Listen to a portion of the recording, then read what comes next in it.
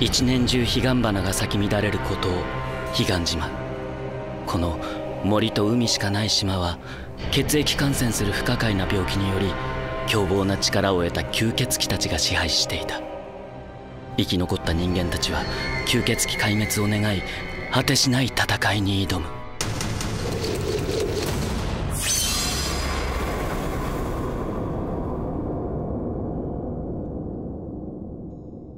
俺の名は宮本明。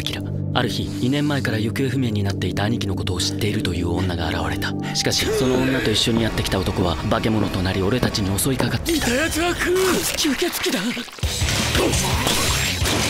なんとかそいつをやっつけた俺たち俺と仲間たちは兄貴を探しに吸血鬼の村に向け出発したこの時反対しなかった自分を一生食いることになるとも知らずに吸血鬼に侵された彼岸島俺たちを襲う吸血鬼の洗礼気がつけば俺たちは囚われの身になっていた。そのうち喜んで血を吸われたがるぜ。仲間割れする俺たち親が2回離婚しているケンちゃんが作ってくれたチャンスで脱出した。助けに来い！でかさ森の中で兄貴との再会。兄貴？アキラ丸太を巧みに使う強烈に強い兄貴と吸血鬼の戦い。なんて丸太。とケンちゃんを助けに行くとそこに現れた鬼完全体。絶望的な状況で現れる吸血鬼のボスみやびようこそ私の島に。婚約者を雅に襲われた兄貴の怒り二人の壮絶な戦いそして勝利。ついに彼岸島から脱出する俺たちだったが魚に囲まれ失敗。壊れた人間よ。強くなるしかない俺を師匠と呼ばれる男に引き合わせる兄貴。弟子入り志願も叶わぬまま俺の前に現れる亡者たち。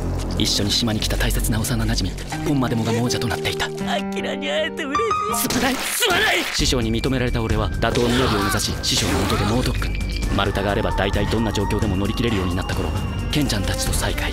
ユキがさらわれていることを知る。お前たちは袋の二人人だ兄貴と二人で鬼退治。と再び雅登場。兄貴が体を張って俺たちを守ってくれたおかげで味噌だけは必ず持ち歩いている西山は初めての豚汁を作ったんだ兄貴の敵を討つ決心をした俺たちは不死身の雅を倒す鍵となる501ワクチンを求めて旧帝国陸軍の研究所に吸血鬼を倒し鬼を倒すとワクチンを作った張本人五十嵐を発見し兄貴に再会。今の俺はお前の敵なんだよ。やってやろうじゃねえか。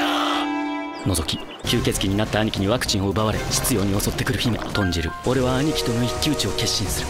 兄貴アキラこれに捕まるんじゃ。兄貴を殺した俺はワクチンを手に雅の元へと向かう。吸血鬼を倒し田中さんのお母さんを殺しユキといい感じになり吸血鬼を倒し雅にスカウトされ村を襲われ吸血鬼を倒し師匠を誘拐され吸血鬼を倒し鬼をやり過ごし豚汁を食い亡者を倒し師匠を救い小野神と戦いさらなる鬼熊のクソ小野神と協力して鬼を倒し小野神と戦い吸血鬼となったケンちゃんと再会しまたさらわれたユキの救出に成功した。吸血鬼を倒し隊長を捕まえあれやこれやのうちついに雅との最終決戦さすがは宮本明楽しませてくれる